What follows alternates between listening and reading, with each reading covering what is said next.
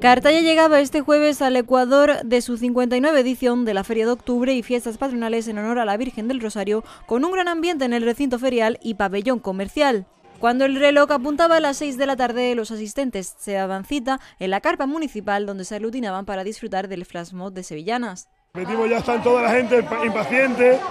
vamos con un pelín de retraso, pero nada, cosas de, tú sabes, las cosas de directo y empezamos a las 6.25 van a empezar, vamos a empezar ya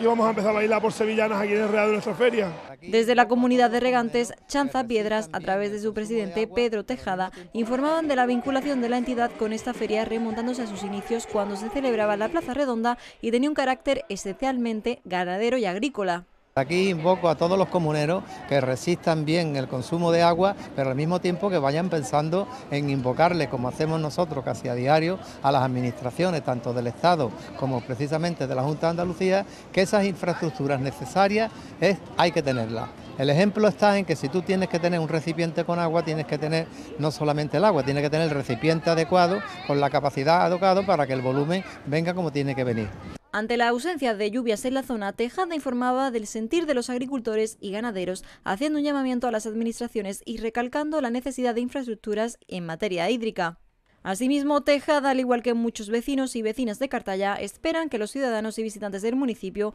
disfruten de la Feria de Octubre y de toda su programación, teniendo muy presente y marcado en el calendario la salida procesional de la patrona de Cartaya, la Virgen del Rosario, el próximo domingo 6 de octubre.